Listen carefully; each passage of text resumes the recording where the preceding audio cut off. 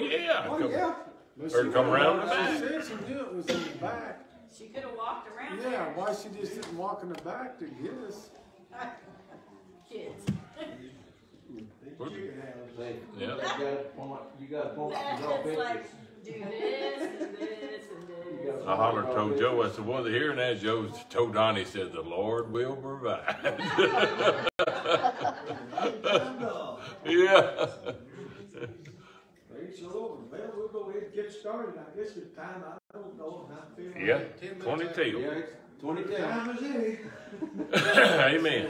Praise the Lord. Good to see everybody tonight in the house of the Lord on this Amen. cold Wednesday night, but it's gonna get colder. Yeah, And, uh, so we're gonna hunker down and make the best of it. that's all we Pull can up do. Next to the fire of the Holy Ghost, and Yeah. He'll pull us right on through it.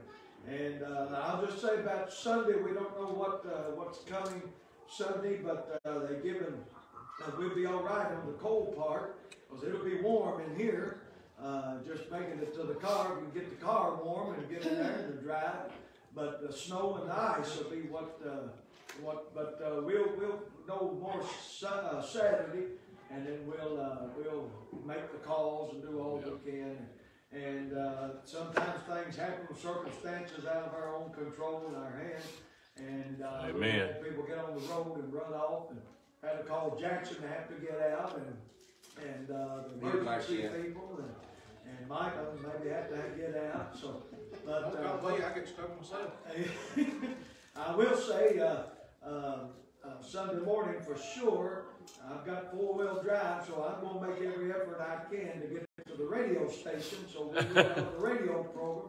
Uh, nothing else, I'll just, if I have to, I'll leave at seven o'clock, uh, Sunday morning, so we will have the, uh, service on there, so tune in, and, uh, we'll be on there. And, uh, Jessica told me, she said, you're, uh, she told me before, I, she said, you're fearless. And I don't know what that exactly means, but uh, maybe I'm just uh, stupid sometimes. maybe. We, Determined. Yeah, determined. Maybe that's a better way to put it. Determined.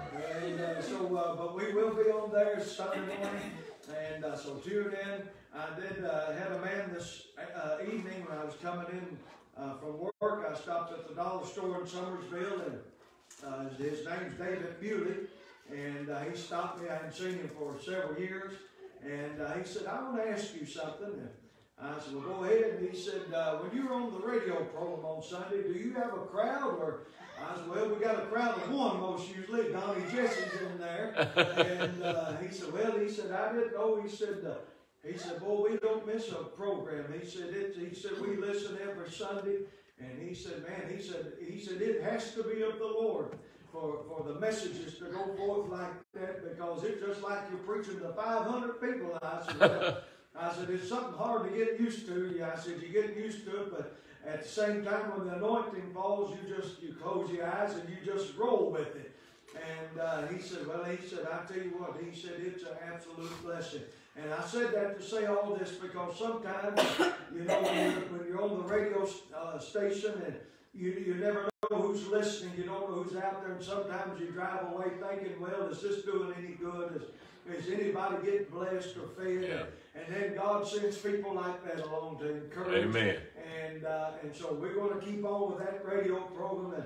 And you know, there's folks that started coming here because of the radio program, and they've listened to the program, and and we praise God for that. So we'll be on there Sunday morning. And uh, only thing that will keep us in is if there's five foot of snow and we sure can't get out, or if there's an inch thick of ice on the road. And so, and even then, we may still brave it. Ice worse than snow. Oh yeah. Yeah. When there's ice under the snow, that's when You can't bad. stop, you can't turn. Yeah, you can't do nothing. You just got to go with the flow then. And uh, so praise the Lord. What to say tonight before we pray? My cup is still running over from the service Sunday morning. Amen. Didn't that choir do a fantastic job? Hallelujah. So many uh, compliments and comments and the spirit that moved and the anointing that was uh, upon the service. I tell you, it was something wonderful. And, and if you've not uh, seen it, uh, you can go back on Facebook and watch it. And, and uh, it was such a wonderful time. We've got to go up Sunday night to Pittman Valley uh, to their Christmas play, and I tell you, we were blessed again uh, Amen. Sunday night at, at uh, those folks up there. A wonderful time. And let me say, uh, in February, uh, sometime we're just waiting on the on the moving of the Spirit. But sometime, probably, I'm thinking in February, we're going to begin here uh, at the church on probably be on Thursday nights. We're going to fire up visitation program, and uh, we're going to begin to go out and and uh, go out into the neighborhood, into the community, knock on doors. Uh, it's not about trying to get people into the church here, but we're going to try to win souls to the kingdom of God. And uh, not only that, but to try to be a blessing to people that are hurting. Uh, there's folks out there, just uh, just the bottom line, they're not going to step foot into the church house. We are, we are coming to that time and uh, place where that folks are just and COVID just done so much damage to the church, it really did. Amen. Folks now sit at home and they just see it so much easier to sit at home. And now those folks that had had that mindset, now they don't even worship the Lord at home anymore. It just, uh, people have got relaxed and now people are hurting and they've gotten so far away from the Lord, they don't know how, how to get the victory. They don't know how to get breakthrough. And so Jesus said, go into all the highways and the hedges and compel them to come in. Not to come into the local body necessarily, but to come into the kingdom of God. And it's up to us tonight. The Great Commission is upon the church to go out and tell others about Jesus and to win souls to the kingdom of Christ. I found, you know, used to people, churches I've been, that we started this, and they would say, Oh, I, I'm not going to go. They don't want to see you coming. They don't want people in their home. You know what I found? When you go and love the love of Christ, you knock on the door, you know, I don't think I've ever been turned away from any home. I, I've always been welcome because we treat people in the right way, and we treat them with the love of Christ. And, and more times than not, you'll win souls to the kingdom of God when you show them the love of Jesus Christ. And so I'm excited. I'm stirred in my heart. A lot of people has asked about that here, and I wanted to do it this past year, but. Uh, uh, we had I had so many things personally uh, going on, but this year I want to see 2023 a year that we win souls to the kingdom of Christ and we see souls saved. Isn't that what it's all about? Is to see Amen. lives changed and hearts transformed. And it must begin at the church. And the church, that's why we've got to walk right. We've got to walk in the Spirit. We've got to live right, the right kind of lifestyle. You know, we can't win souls unless our life is lined up with the Word of God. And so we're going to soak this thing down with prayer. We're going to go out, and so we'll uh, we'll have some dates and things, but we'll be doing this probably on Thursday. Somebody say, why Thursday? Well, I found uh, uh, in my experience with it, if you go out on Monday or Tuesday, by the time Sunday rolls around, they done forgot everything. and so, uh, and so we uh, uh, Thursday I've always found is the best night to go out and knocking on doors. And so we're going to go out, and especially the men want to see the men of the church get in this thing. And, and uh, but now the ladies want to do it as well. That'd be wonderful. And uh, I- I've got some ideas for the ladies that would want to go out and. And maybe some of the elderly that can't get out uh, to church, it'd be a good time to go and, and just meet over to folks' home and take them food and pray with them and maybe sing. You know, this church loves singing uh, uh, uh, more than a lot of churches I've seen. Uh, so, uh, you know, there's something for everybody. Amen. Hallelujah. So tonight, let's stand as we go to the Lord in prayer. We're going to get back into the Word of God, studying on the Holy Spirit and who He is. This week, uh, weekend coming up is Christmas weekend. We want to keep in mind that why Jesus came, why He was born of this Virgin Mary. He, he was very God, but He was very man. Uh, he came to identify with man, to identify with our pain, our hurt, our heartaches, our troubles, our suffering. And so uh, on the deity side, humanity side, he never knew no sin. Isn't that amazing? He, he wasn't born, uh, uh, he didn't have uh, Joseph's blood running through him. He was conceived by the Holy Ghost. Hallelujah. And so he was very God, very man, but he knew no sin. Even though he was tempted like you and I are, he withstood that temptation. When the devil took him out in the wilderness and tempted him 40 days, uh, Jesus withstood him. And tonight, uh, that tells me that Jesus overcame him. If you're saved and born again, he's in you. That makes you an overcomer tonight. And how did Jesus defeat the devil? He did it by his word. Hallelujah. So that means Amen. we got to get the word in us. Hallelujah. Amen. Praise the Lord. It's not enough just to have daily devotions and all of these things. We got to get down and meditate on the Word of God and get down with the business with God and study His Word and get it in our hearts. Uh, hallelujah. It's a, his, his Word is a lamp unto our feet and a light unto our path. And we hide it and we place it in our hearts that we may not sin against God. That's how vital His Word is tonight. Can I hear big amen? Amen. Hallelujah. Let's pray tonight. Heavenly Father, we come before your holy presence in the mighty name of your Son Jesus tonight, our mediator, our representative, our intercessor tonight, who stands on our behalf. And God, tonight we're so thankful, uh, Lord, with praise and thanksgiving tonight. uh, And Lord, as we that we get to come to a place such as this, Lord, uh, we know that this is just a building, but God, it's set aside uh, and anointed for the purpose of coming. And, and Lord, that we can come together and assemble together and worship your holy name tonight. And Lord, as we do this, we know tonight that there's something about that, that God, you honor, you pour out your spirit upon your people, and you move mightily, Lord, just like that wind that blew uh, down in valley of dry bones, God, and it blew, upon those dry, dead bones that been there for a long time. And God, it revived them and made them to rise up and walk out of that valley like a mighty army. And God, tonight we know that, Lord, you can blow on the church tonight. Lord, the winds of revival. And Lord, how we need a great spiritual awakening, uh, even in this land that we're living in today, uh, in this nation of America. Lord, you see the trouble that's all around us. Uh, you see the affliction and how ungodly leaders, uh, wicked leaders, God, are forcing their agenda on us. Uh, and Lord, it's all fueled by the power of Satan. The God, tonight we're so thankful that you've already declared in your word that, Lord, your people, the church, the blood bought church, Lord, has power, God, and we're more than conquerors through Jesus Christ that loved us. And Lord, tonight we're so thankful, God. And Lord, even though we're in this world, we're not of this world. And Lord, we ask you in these last final days that we're living in, that God, you would give us a holy boldness to be able to stand. Lord, whether it costs us our family members or friends or loved ones, Lord, or neighbors that live around us, that God, we would stand upon your word and stand in your love, and we would proclaim and herald the glorious good news uh, of the gospel of Jesus Christ. Uh, Lord, we thank you for this church. We thank you for this people. Uh, we thank you for the hearts, Lord, that are dedicated and committed, Lord, not just to this church, but they're dedicated and committed because they're dedicated to you tonight. And Lord, we thank you, Lord, for this people. And God, we thank you for each one that's made an effort to come out tonight. And I just know that, God, you're going to bless each one.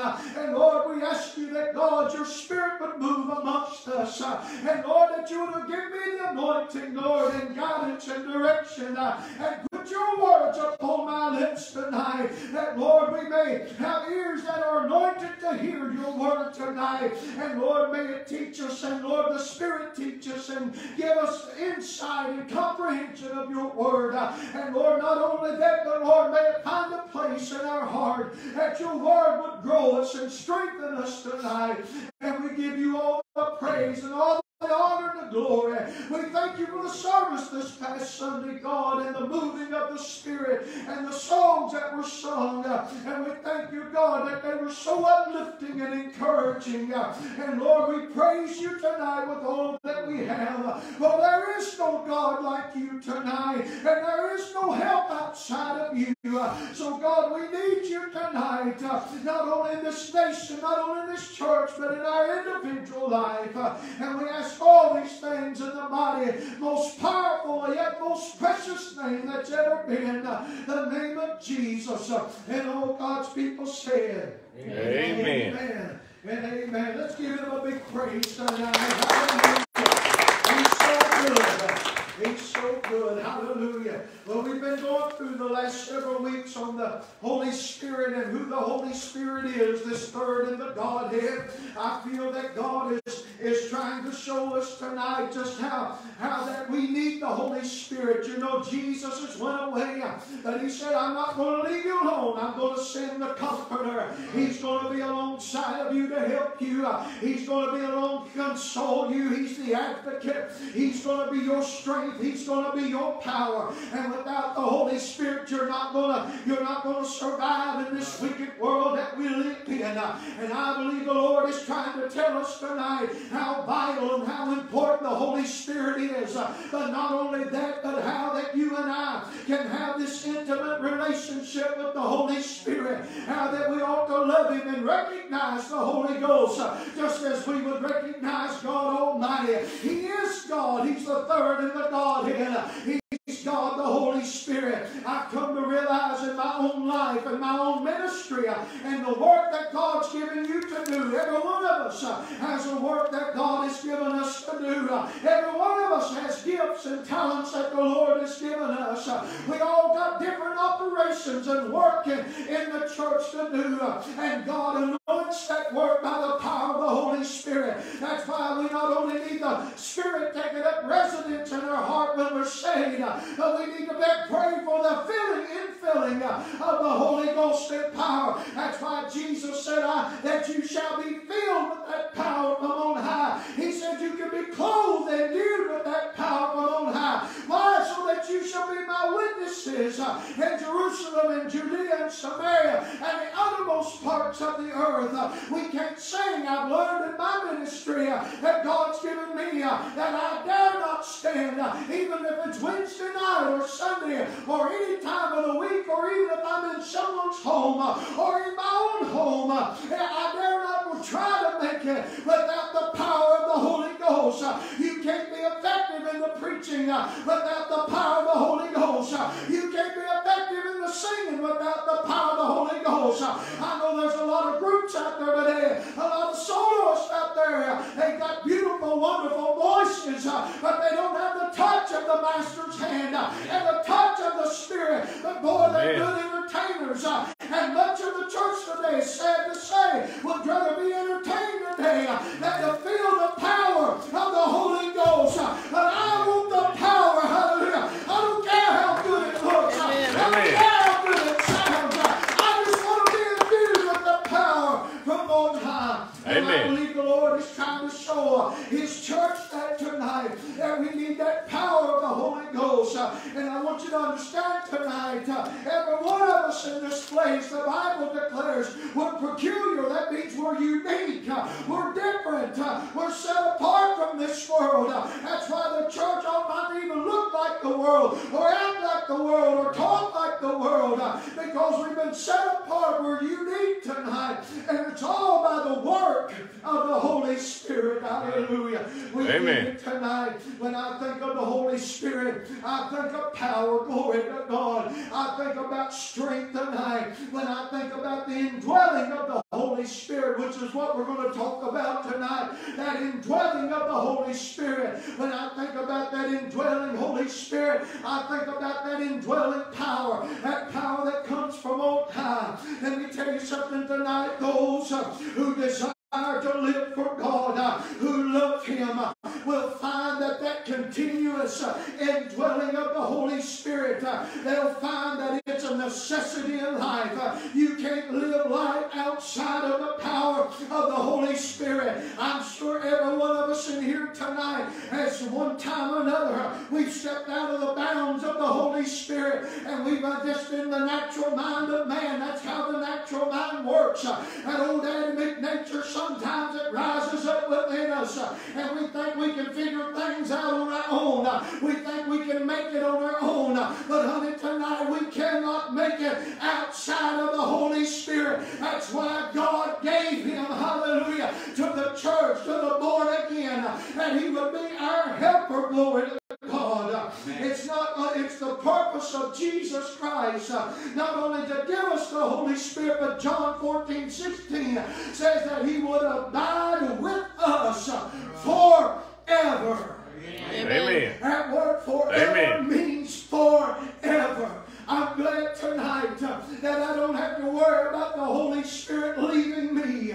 Jesus said he'll abide with you and in you forever. Somebody said, well, I just don't feel like the Holy Spirit is with me. Well, honey, I'm glad it doesn't matter what we feel like. It's not based on our emotions or what we feel. It's based upon what God's Word declares tonight. Amen. So I want to look at tonight some things the Bible uh, uses to explain the Holy Spirit as He indwells in our lives and things that I see in the Word of God that, that I wrote down here. I want you to turn to Romans chapter 8. Uh, the Holy Spirit is mentioned. Uh, Paul, uh, uh, the Holy Spirit through the pen of Paul, uh, and says many things about the Holy Spirit in the eighth chapter of the book of Romans.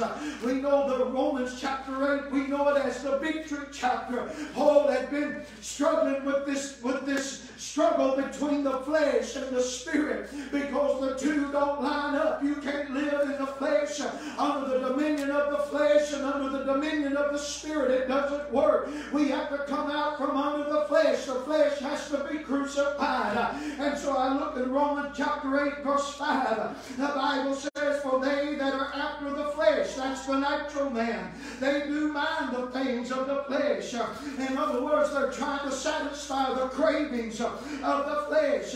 But he said, They that are after the Spirit, that's the Holy Spirit, they mind the pains of the Spirit. In other words, they're walking in the Spirit, and their lives are governed by the Spirit. And so all they think in their mind uh, is that the flesh is behind me, uh, and all I want for my life is what the Holy Spirit desires uh, for me in my life. Paul said, For to be carnally minded uh, is death, uh, but to be spiritually minded is life uh, and peace. That's the Amen. mind that is completely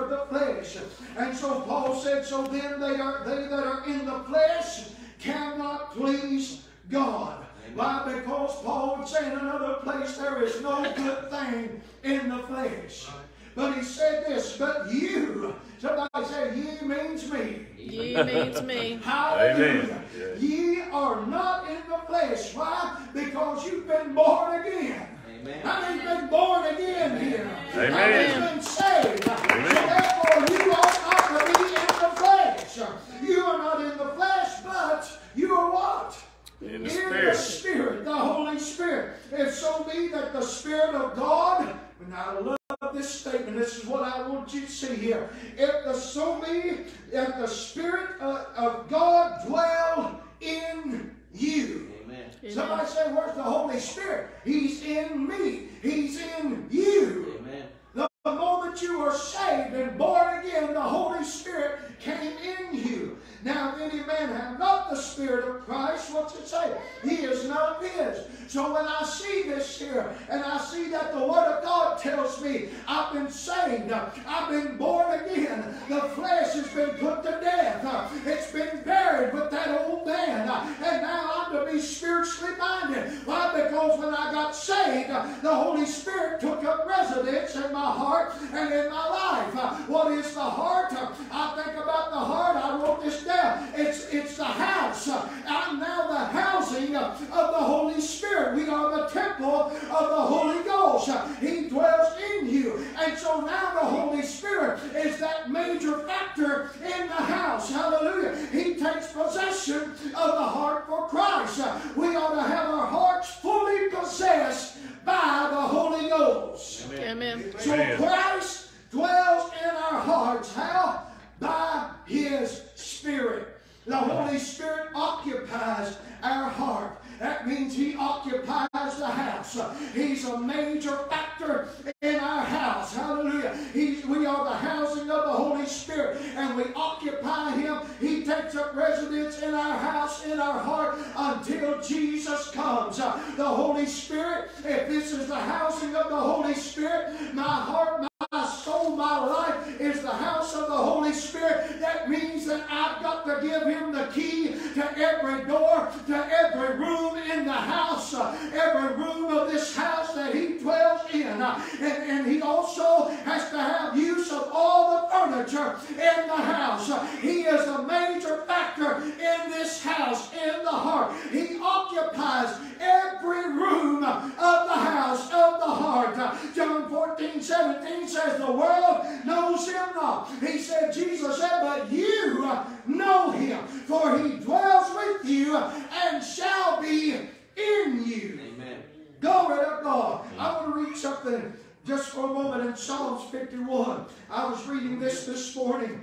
We know this that this is the penitent psalm of David after he went into Bathsheba and after he had Uriah killed uh, on the battlefield uh, and David committed his great sin. uh, But we read in Psalms 51 uh, and David is repenting from his heart to the Lord uh, and he's saying, Lord, I acknowledge my sin, uh, my transgression, all of this is before you. uh, And he, but I want you to look down. He said down in verse 10, uh, he said, Create in me a clean heart, O God, uh, and renew a right spirit uh, within me. That's a steadfast spirit. He said, Cast me, now listen, cast me not away from thy presence Amen. Amen. and take not thy Holy Spirit from me.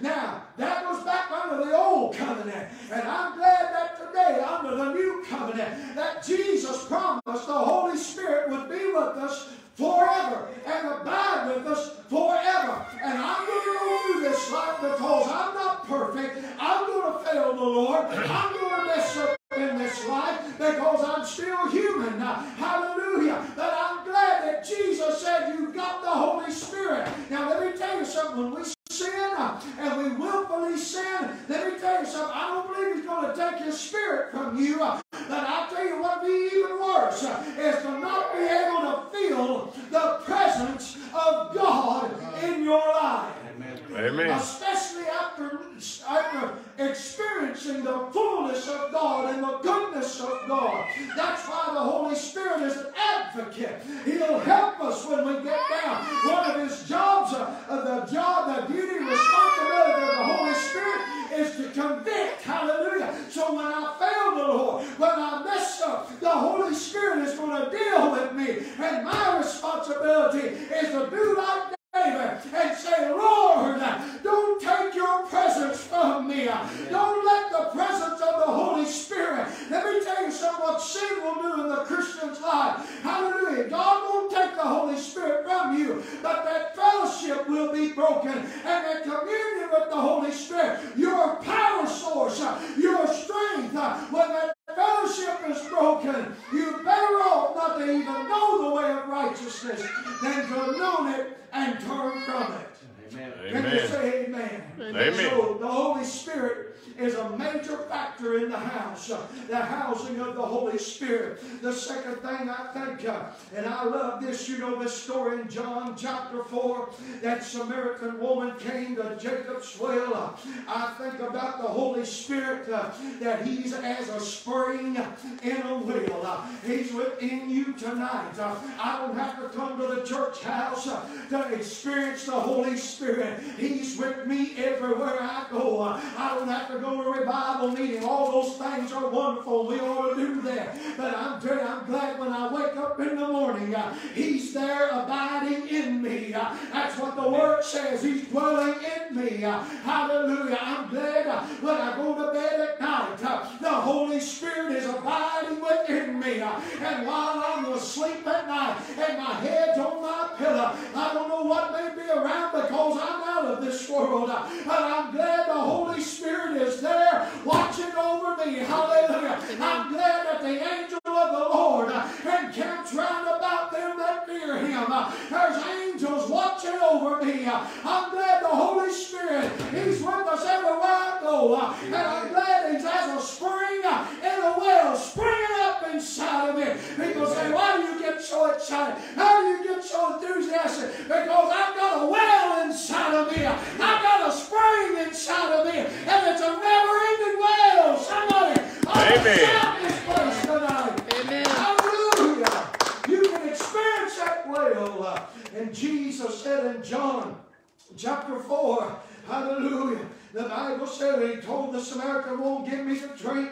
Down in verse 10, Jesus, uh, he said unto that woman, if you knew the gift of God and who it is that says to thee, give me to drink, thou wouldst have asked to him and he would have given you living water. You know what he's talking about there? He's talking about the Holy Spirit. Hallelujah. The woman said unto him, Sir, thou hast nothing to draw with, and the well is deep. From whence then hast thou that living water? He didn't have nothing to draw with because he is the well. Hallelujah. And the Bible says, uh, the woman said to him, and he said, From whence thou? She said, that living water. And she said, Art thou greater than our father Jacob, uh, which gave us the well, uh, and drank thereof himself, uh, and his children and his cattle? And Jesus said unto her, uh, He said, Whosoever, and I'm glad he said, Whosoever, because that included this old alcoholic, that included this old drug addict. That means whosoever shall call Amen. upon the name of the Lord can drink from this well and receive the indwelling of the Holy Spirit. Can you say amen? Amen.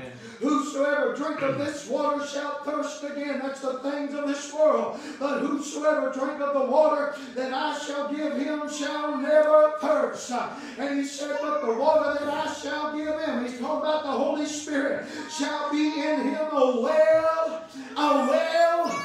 Somebody ought to hear me tonight. Shall Amen. be where? In him shall be in you, shall be in you. Amen. A well of water, hallelujah, springing up into everlasting life. That's why I can get excited. That's why I can walk around with joy in my heart when there's eggs that's going up to five dollars, when milk is going out the roof, when Amen. bread, hallelujah, is getting where you can't afford it, and even bologna's getting scarce. That's why I can walk around with joy in my heart because I got a well springing out everlasting water inside of me. I got the Holy Ghost. Hallelujah. Amen, brother. Amen. Preach it. Glory to God. Man's heart. You think about the natural man and the heart of the natural man. Before you were saved, that natural heart by nature is like a well that's filled with rottenness, it's filled with corruption. So, what must happen to that natural man? Well, there must be a cleansing that takes place, and that cleansing must come before there's usefulness. And so, therefore, there's a living spring that's up inside of every one of us tonight, and it uh, and it satisfies the whole life. Honey, let me tell you tonight, if you can't be satisfied uh, in your Christian life, and you're going here and you're going there, and you can't ever be content, what you need to do is go back to the well. I said, what you need to do is go back to the well, because what I found in that well of water that's inside of me, uh, it satisfies the thirst. Uh, I don't to look to the things of this world. I don't to look to that alcohol no more. I don't to look to those drugs no more. Because I took a drink church. I wish I could get a church Amen. tonight uh, that could testify and say, I know what you're talking about. Amen. Joy. I'm in that same well inside of me going on. Amen, brother. Hallelujah. I'm telling you, put a smile on your face. Amen. Amen. Even when there's trouble all around, when you realize you got a well inside of you, uh, it's not over here down in Samaria. It's not in Jerusalem. It's in you tonight. Amen. Hallelujah. And what I like about it, that well is deep. Amen. Amen. Oh, hallelujah. I said that well is deep. Why? Because that spring is in God. Hallelujah. Amen. It's a well of never ending water, never ending supply of joy. Glory to God. Somebody, you know, I told the story here several times. Somebody, uh, you know, back when COVID hit, and I had so much ridicule and people talking about me and, and accused me of everything, wanted to get people sick, wanted to kill people. And even some said, I hope you get it. All of this. And, you know, somebody told me one time, I, I heard them, they told somebody else, and another person told me, you know how word gets around. Amen. They said, well, you know, they told me, said, we shouldn't go down there to Grace Union. You know, the world's in trouble, there's so much chaos going on. You might go down there and you might get the joy. They all down there full of joy. Hallelujah. and you better watch it. I mean, you go down there, you get the joy. You go out here in the midst of the world. I mean, they're doing everything, everything going on violence, and, and you'll be walking around with joy in your heart. Let me tell you something. I've got joy, and that joy is the strength that I need. Hallelujah. Because of the joy of the Lord is my strength. It's joy unspeakable and full of glory. It's a glorified joy. Why? Because Amen. I've got a well inside of me. Hallelujah. Amen, brother. Tonight, glory to Amen. God. Amen. People, people are so concerned in the next few days what they're going to do. Let me tell you something. I, I'm not telling you to be fools and just do whatever. I think we ought to plan and do things that we need to. But I don't have no concern what's coming. I've got a well inside of me. I've got the Holy Spirit in me. I, I don't have to come to the church and call on it. He goes with me everywhere I go. He's a well inside of me. Amen. Amen, brother. Oh, praise the Lord. Not only that, if you go on over to John chapter 7, you'll see uh, some of my most favorite scriptures uh, on the Holy Spirit in John chapter 7, verse 37. Jesus stood up. It was the Feast of Tabernacles. Uh, that's where Israel had celebrated those years that God had brought them through the wilderness and He took care of them. And Jesus stood up and He said, uh, He said, if any man thirst, in verse 37, He said, if any man thirst, uh, if any man thirst, uh, let him come unto me and drink. He that believes on me, that speaks of faith. He that believes on me, as the scripture, the word of God has said, out of his belly, that's out of his heart, that's out of his innermost being, that's where it flows, rivers of living water. And and verse 39 says, But this spoke he of the Spirit, the Holy Spirit, which they that believe on him should receive. For the Holy Ghost was not yet given, because that Jesus was not yet glorified. But now I'm telling you, we're on this side of this scripture now. Jesus has been glorified, and we've got the Holy Ghost. And I want you to know Amen. tonight, not only is he as a spring in a well, but he is as a river in a fountain.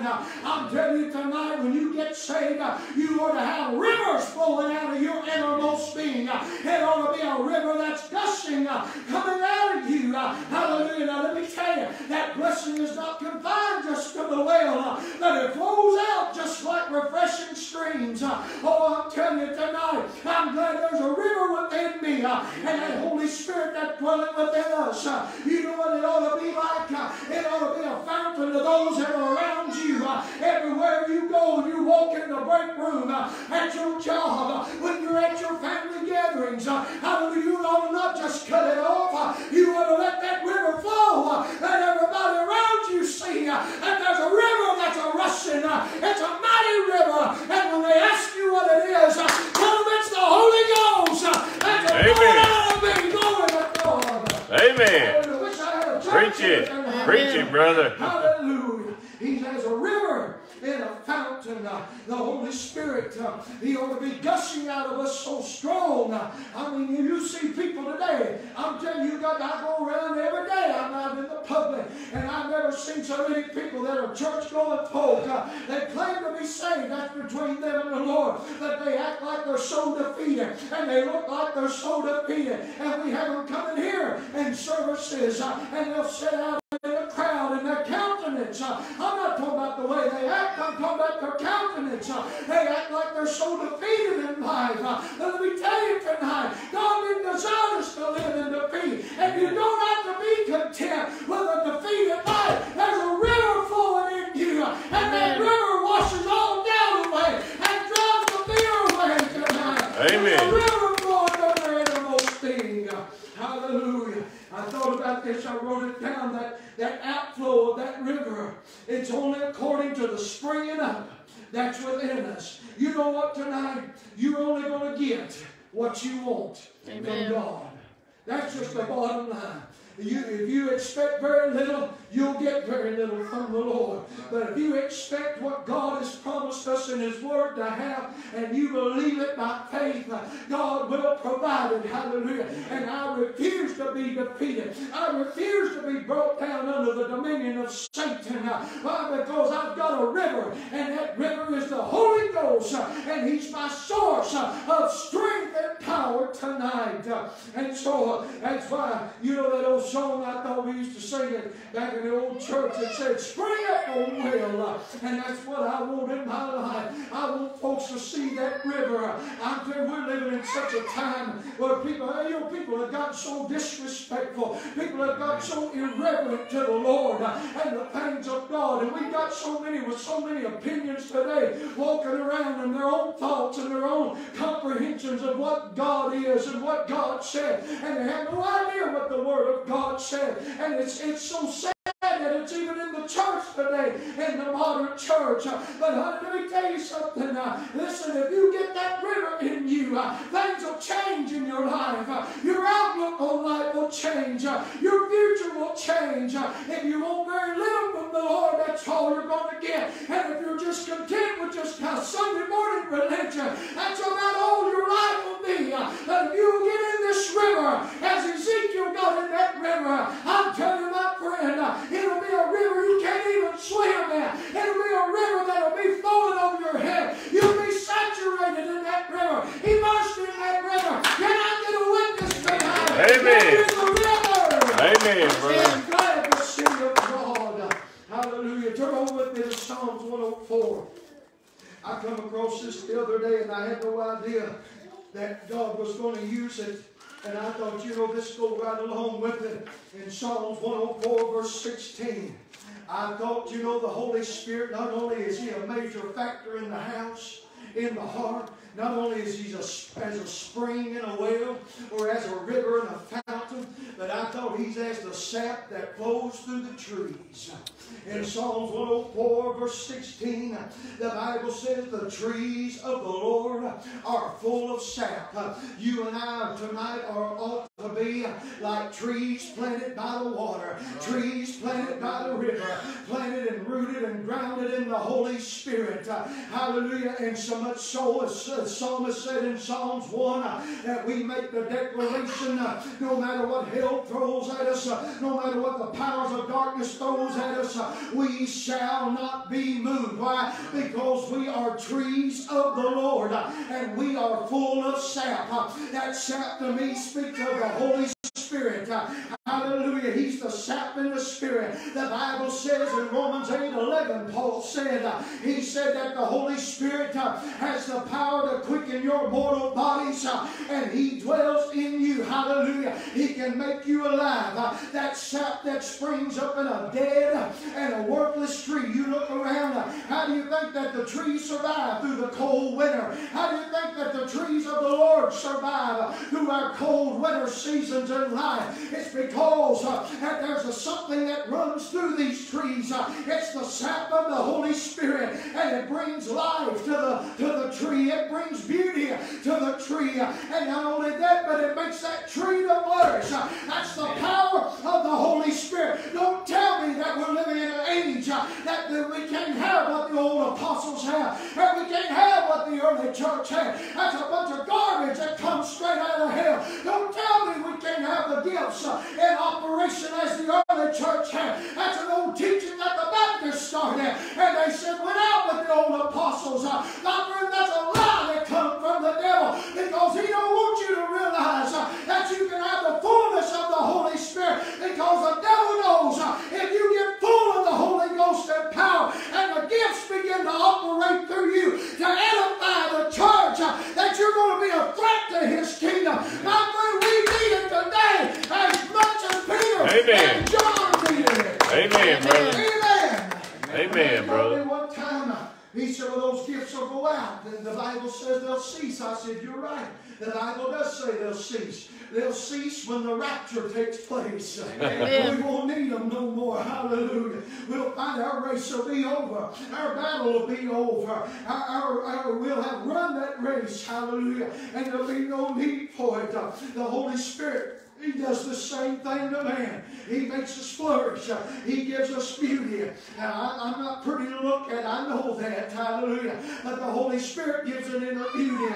It makes you beautiful before the eyes of God. And when you're walking in the Spirit and that Spirit is indwelling in you, it, He causes you to flourish. He causes you to have life. Hallelujah. So the trees of the Lord are full of sap tonight. How many say amen to that? Amen. Amen. Amen, I'm brother. telling you, we need power in our churches today. Amen. Amen. Our churches don't have the power like they used to. Our services have become cold and dead because it's, it's because of the heart of people. I'm telling you, listen, if we want the power, we've got to get in it. Hallelujah. We've got to pray. We've got to get a hold of God's word. We've got to quit this bickering and fighting. You know, James said in James chapter 3, the tongue is like a poison, and that tongue has destroyed in the church, and it's caused schisms and divisions in the church, and cliques that come up in the church. I tell you what, nothing bothers me any more than when I see a church that has a clique here and a clique there, and they're all working against each other, trying to tear the church all to pieces. And if I ever see that here, don't think I'm going to back off and not do anything about it, because I'm going to stand up for the Lord. I'm going to stand on His word, and we'll put an end to that thing, and the Holy Ghost will take care of it. Amen. Glory Amen. to God. The church needs shall rise up like never before and be filled with the power of the Holy Ghost. Amen. Amen. Hallelujah. And not only that, turn with me to Ephesians chapter 5. One of my most favorite scriptures in the Word of God. Ephesians chapter 5, verse 18. You know this scripture. Well, we ought to, and we ought to get a hold of it tonight. I want you to understand that not only does the Holy Spirit, and we're going to get to the baptism of the Holy Spirit, I feel like here before long, I just got to get all these things out of the way that the Lord's showing me first. But I feel like the Lord's working this up because I want you to know there is such a thing as the baptism of the Holy Spirit. And I'll say tonight, the Baptist is just about the worst and trying to tell folks there is no such thing. But the Word of God declares different, and I'm going to prove it through the Word of God, not by opinions, not by what I think. I told a man the other day, I don't line up my preaching, I don't line up my study with the Baptist doctrine or the Methodist doctrine or any other kind of doctrine. I study the Word of God, always have, always will, and I study it for what it says and what it means. If God didn't think we needed the power and the baptism of the Holy Spirit and the infilling of the Holy Ghost, uh, He wouldn't have put it in His Word. Uh, But tonight we need it. I believe every word of the Bible from the Genesis 1 1 to Revelation. uh, I believe every single thing that it says, and I believe it applies for you and I today. And we can't take Scripture out and rip it out just because we've never been taught that or just because we don't agree with it. We got to take the whole counsel of God's Word as it is. Amen. Never been a big denomination person. But here's how God's blessed me. I'm just going to throw this in there. He's blessed me to be able to pastor churches that I could go in and God proved Himself through His Word and through the power of the Holy Spirit. No matter, I pastor a Cumberland Presbyterian Church.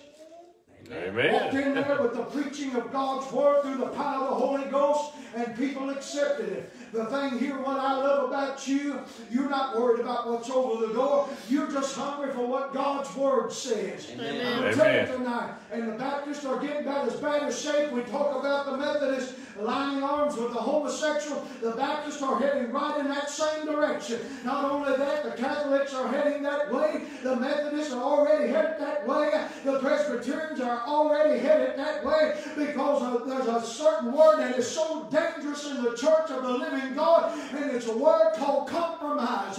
But you're looking at one tonight who has made up his mind. I dare not compromise the word of God. It is what it is, and we'll stand on it because God's word is forever settled in heaven. Therefore, it ought to be forever settled in our hearts tonight. Amen. Amen.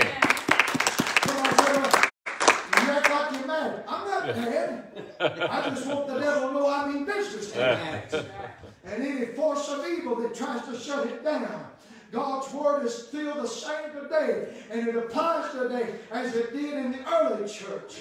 And so I think about this verse, Ephesians 5.18. Paul said, be not drunk with wine. He's using an analogy here. He said, wherein is access, but be filled with the Spirit. Be Amen. filled with the Holy Spirit. What's he meaning? It's just like as the alcoholic uses the alcohol to control his life, and that alcohol governs his life. Paul is saying, be filled with the Spirit at all times, and let the Holy Spirit control your life and be filled. And I got to thinking about that verse, and I thought, you know, the Holy Spirit wants to fill us tonight as the waters that fill the sea. I got to thinking about tonight uh, how that the waters, uh, when you look at them in the ocean and the sea, there's not a crevice, there's not a hole, even if it's a hundred miles deep in that ocean, that is not filled by the water of that sea. And that's exactly how the Holy Ghost wants to fill your life and fill my life. He wants to fill every void, every crevice, every hole. He wants to fill you and govern you and control your life because He is God.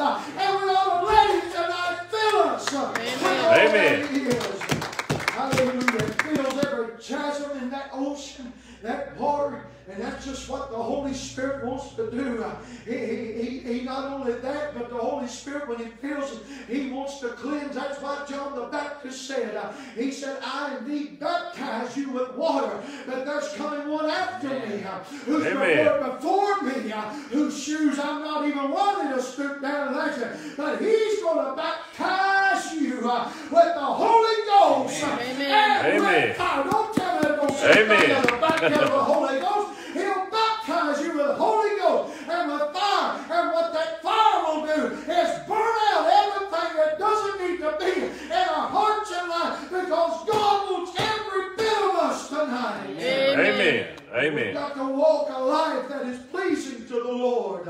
And so the Holy Spirit wants to flood our lives and flow into every detail of your life tonight. Uh, in the sea, I thought about this. In the sea, you think about, you've seen those, I've never been deep sea diving or whatever they call it. I'd like to go one day. I just don't want to go where the sharks are. I want to get in where the enemies are. Hallelujah. Not even in a shark cage. But you know, you see those deep sea divers, they just keep going and keep going and keep going. And you know, you look around in those oceans, and I mean, it looks like they just, I mean, just miles and miles. And so I thought about in the sea, there's enough room for every living thing. And so in the Holy Spirit, there is enough power to live our life as the Word of God wants us to live. Amen. Amen. I'm glad Amen. that the Holy Ghost is an endless supply.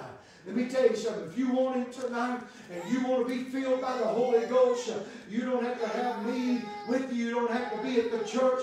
It's just like the greatest gift that God gives to the sinner is salvation. The greatest gift He gives to the child of God is the infilling of the Holy Ghost and power. He wants His children to be filled up with the power. We've got so many today in the church, they think they're filled up with power, but for some reason it's like a light switch. They turn it on and they turn it off when they desire. But God wants to fill you every moment of your life. It don't stop at the family gatherings. It don't stop at work.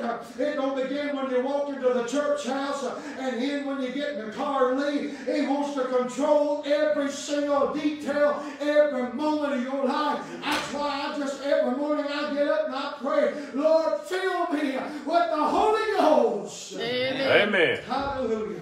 The last thing I want to look at, I want you to turn over to Micah chapter 3. And I know this is in the, the old covenant, but the Holy Spirit is working here as He did. He came in a new dimension on the day of Pentecost, but the Holy Spirit would move at certain times on certain people in the Old Testament, but He was the same Holy Spirit. And I got to thinking about this last thing. That Holy Spirit, the third in the Godhead, He is our strength in our body, our physical body. I'm telling you tonight, there's no way that I could preach. There's no way. I, I've watched my daddy a lot of times get up and preach. And I, I never realized till after I was saved and after I started growing in the Lord. And I only got to see him preach about three or four times after I was saved. I seen him many times as a child and times that, that I was away from the Lord, but I didn't understand it those times. But after I got saved and watched him preach, you know, I, I, I had been saved about two or three weeks. And there where I got saved, the church I got saved at, the pastor had him preach one Sunday morning. I'm telling you, I never heard such a preaching in my life. And you know, it's different when you get saved. Amen. Everything gets is different. Amen. And uh, Brother Gary Irvin, he he wanted to do my ordination service. He called me one day and he was getting it all lined out. And he said, "Who do you want to preach your ordination service?" I said, "Well, that's a no-brainer. I want my daddy to preach my ordination service." And you know, he stood. That was his last message that he ever preached. And you know, he stood up and he was sick in body. He'd been sick with heart disease for about 40 some years.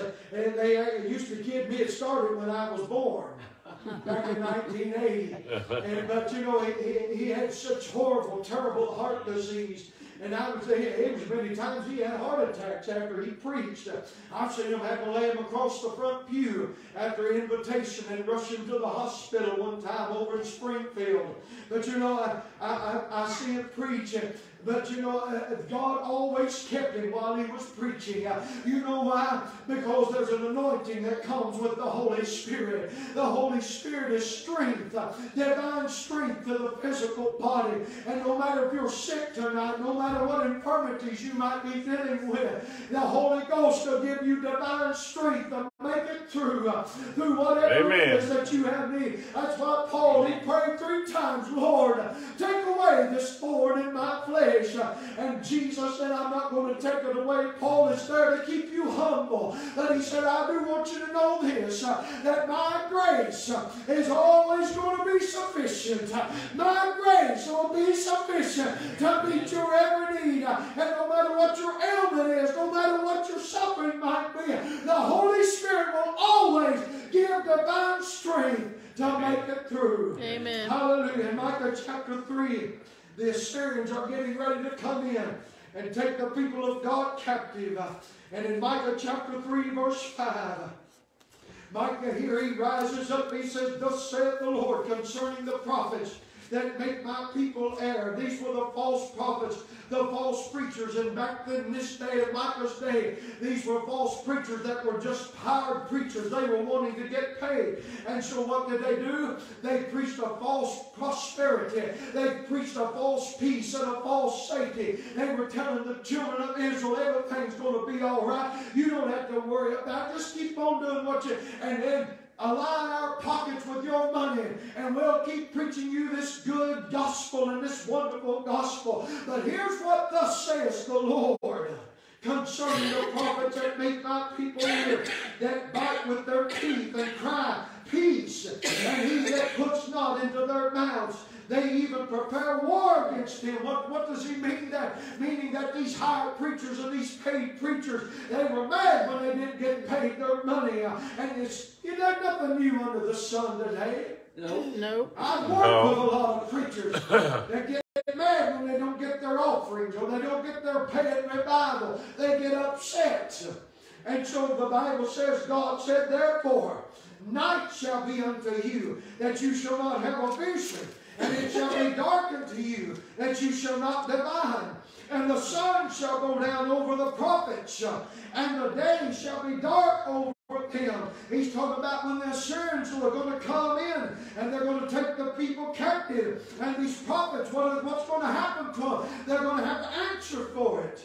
And the Bible says in verse 7, Then shall the seers, these are the false prophets, be ashamed. There's going to come a day when the false prophets of the day that we're seeing today, there's going to come a day uh, when they're going to be ashamed for what they've stood behind the pulpit and preached. Uh, you know, a feel-good gospel always feels good. But let me tell you something, a lot of people today, they only want the blessing side of God. They don't want to hear about the wrath of God. They don't want to hear about the judgment of God. They want to continue to live in their sin and at the same time exploit the blessings of God. But honey, you can't have it that way. And if you're going to walk with God and be in this thing with God, you've got to take all of God just as He is. Amen. Amen. And so the Bible said, God said through the prophet Micah, then shall the seers be ashamed, and the diviners, that's the fortune tellers, confounded. Yea, they shall all cover their lips, for there is no answer of God. But listen to what Micah said in verse 8. But truly, I am full of power by the Spirit of the Lord. Amen. There's power in the Holy Spirit and of judgment and of might to declare unto Jacob his transgression and to Israel his sin. That might of the Holy Spirit is the anointing, the endowment to deliver the message that they needed to hear. I look back there at Brother Jackson and I, there's no way we can stand, stand and preach the Word of God, and I dare not outside of the endowment of the Holy Spirit, outside of the anointing of the Holy Spirit. And I'm so thankful that God has never failed me each time I've stood on the platform, wherever it's been. He has always been faithful to give me the anointing that I need. I don't, I'm not here to please man. I'm not here to preach what man wants to hear. I'm here to preach what man needs to hear. And God always supplies the message because He knows what's in the heart of man. And He knows what man needs to hear. I'm not here to tickle ears. I'm not here to make friends. I'm here to preach what thus saith the Lord. Why? Because I've got the power of the Holy Ghost and the love of Jesus in my heart. And I'm going to preach what thus saith the Lord. Amen. You can't do it without the Spirit of the Lord. There's might and power in that Spirit. Hallelujah. And so let me tell you, I, I thought about this. A strong man, he doesn't put on and put off his strength as the situations come along and as those situations require, but he carries it with him and in him everywhere he goes.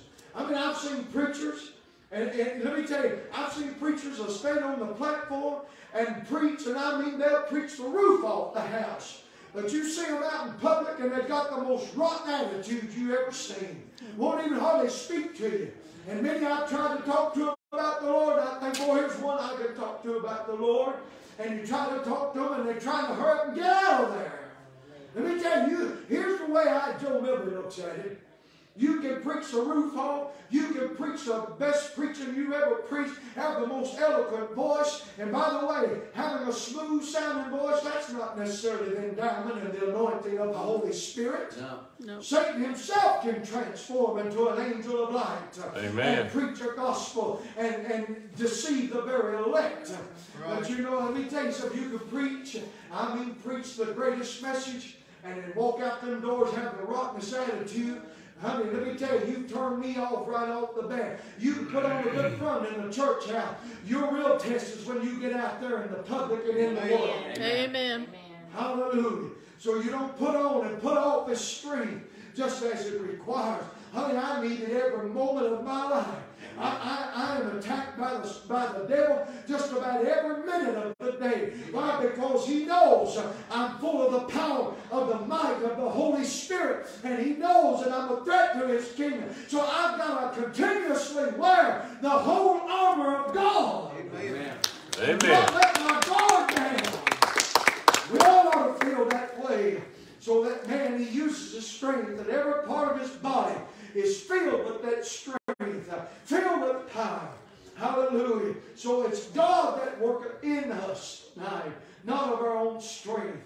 I don't have this strength. I don't have the ability to do what I do. In my daily living, I don't have the strength. When I wake up in the morning, my mindset is to live for God uh, throughout the whole day. uh, And I know well enough to know I cannot do it on my own merits and by my own way and my own strength. That's why I need the indwelling of the Holy Spirit. Amen. Hallelujah. Praise the Lord. Hallelujah. I'm telling you tonight, without him, we're just a helpless corpse. Amen. But I'm glad God's gave him. Amen. That we may have him. Hallelujah. Amen. Praise the Lord. Praise God. Anybody got anything tonight before we close out? Hallelujah. Praise Thankful he's always with us, no matter how far we stray. Good message. Amen. Praise the Lord. Praise the Lord. I tell you, Brother Jackson, I just publicly tell you, and others here, I look back at Tony and Marla, and the anointing that comes on them when they sing. I heard a man say one time, he said, preachers are called to preach, but singers just go sing. I thought, man, that is, that is about the most ungodly statement. Singers are called to sing too. Everybody's called to do something. Mm-hmm. And I think about Tony and Marla, the spirituals, when they get up to sing, there's, they, there's no way. Now, that good singers got good voices, but they wouldn't sound nowhere near as good if, if the Holy Spirit wasn't upon it and anointed. Amen. Amen. And no group, I, I've heard some of the best harmony, four-part harmonies, quartets, male quartets. I've, I've been in those places. I've, I've been behind the scenes. I've seen those things. I've seen their rotten attitudes and how they act above everybody else. Then get out there on the platform and act like they're spiritual and righteous, and then come off the thing and talk some of the most ungodly talk and tell some of the most ungodly jokes. I'm telling you something, my friend. You you can fool a lot of people, but you can't fool God. Amen. Sooner or Amen. later, the light's going to shine on that God. Amen. And they'll be put out. Hallelujah. Because we're in a time where only the real is going to stand. Right. Amen. God's going to use them.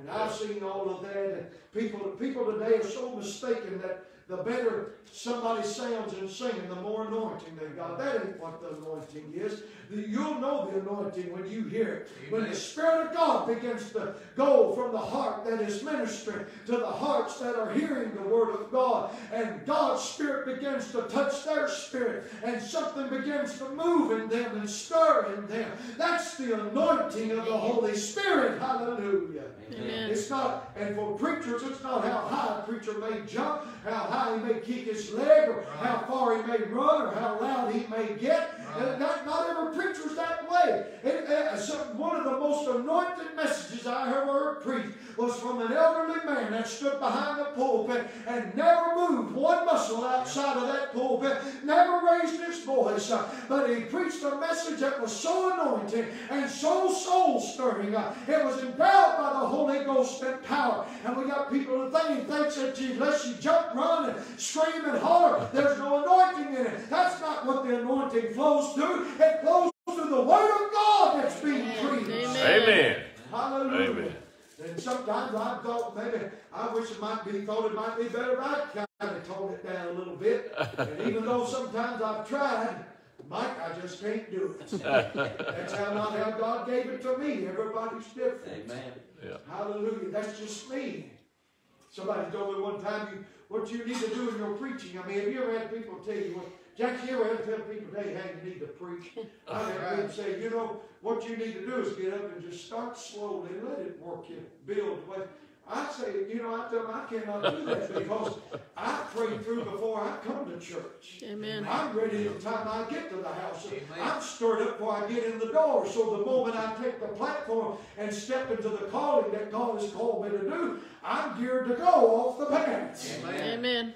Yeah. That's a high octane, Holy Ghost high octane. Hallelujah. I better stop there. Somebody else got anything?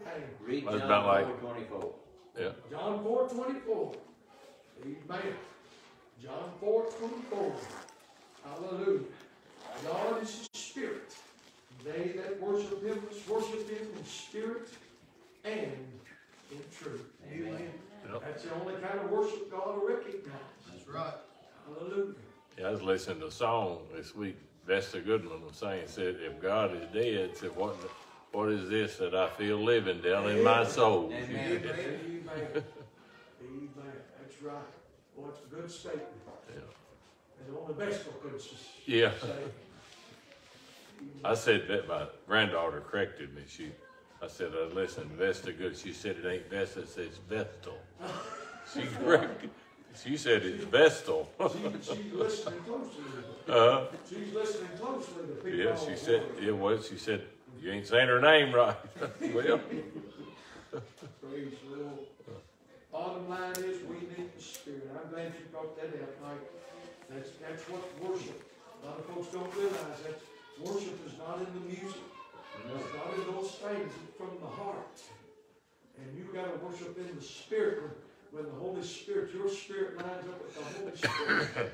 And that's what makes the service. That's why I love the services here. In, in, in Grace Union, it didn't start when we came.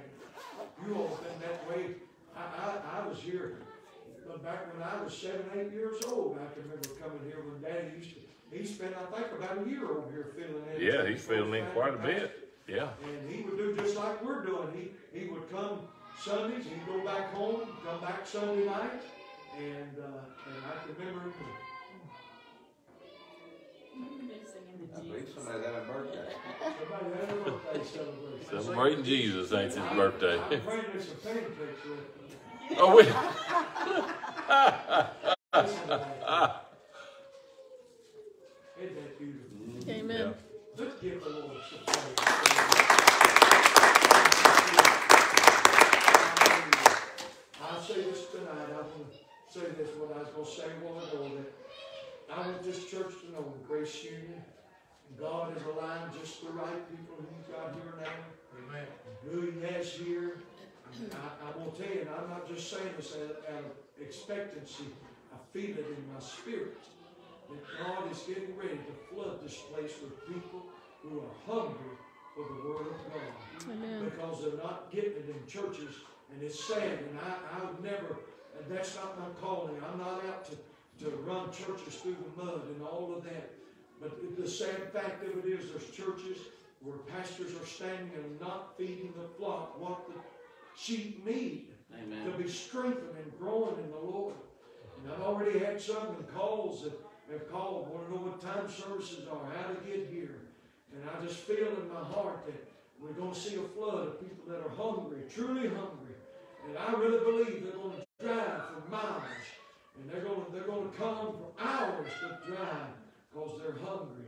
And I praise God that there are churches out there that are still standing on the word and feeding the sheep, feeding the flock. And those churches will survive and they'll thrive because God will provide. Amen. Amen. Any Amen. church that takes the spirit out, might as well shut the door. Got nothing but the dead oaks. They might as well shut the door. All you got's a graveyard. Yeah. Amen. Praise the Lord. Well, I tell you, I love you. I really do. And I tell you, good to see our good friends, uh, Chris and Veronica. Back there. Let's make them. We love them and their family as well. Yeah. I mean, church family, but. uh, Family too. family. Uh, Now, they're family to me by marriage, but they're still family. I ain't heard nothing so ain't man's back there yet.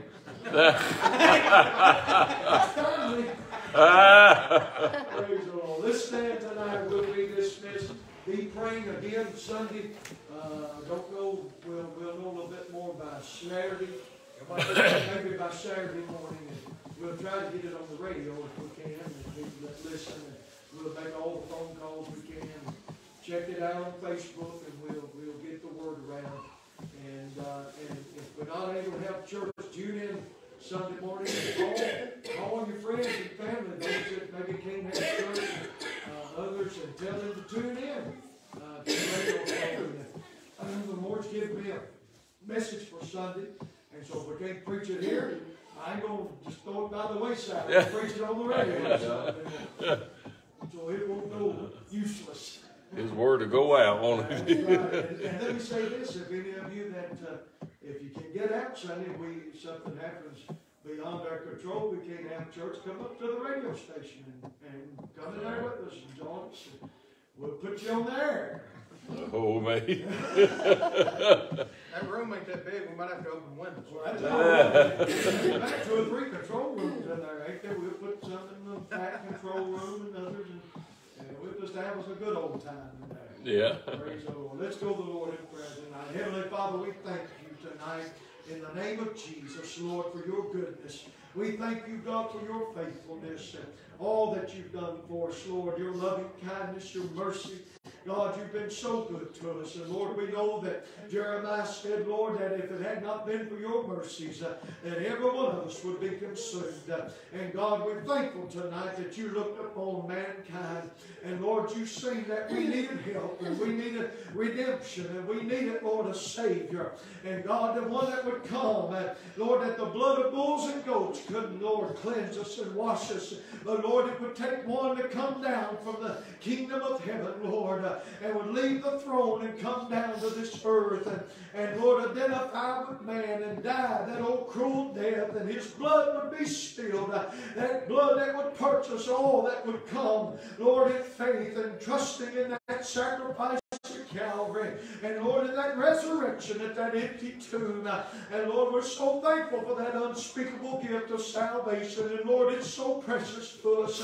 And Lord, we count it, Lord, di- Lord, precious in our hearts and life from the moment that we were saved and born again.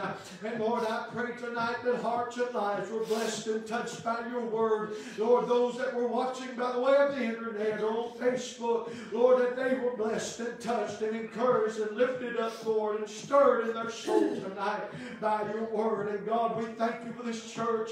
We ask you to continue to pour out your richest blessings upon us as we strive to grow in the grace and knowledge of your Son, Jesus. And Lord, we pray, Lord, whatever it is your will be done this weekend. Lord, we pray that you'll keep folks safe, Lord, through what the storm that may come, Lord, upon us. Lord, we pray that you'll take care of the elderly, Lord, that may be shut in. Those that, Lord, are without, God, that you'll touch them. And Lord, we pray that, God, should we gather here Sunday, Lord, that you would move in a mighty way. And we know that you will. You, Lord, you always do. And we count it a great honor, Lord, that your presence is right here in our midst.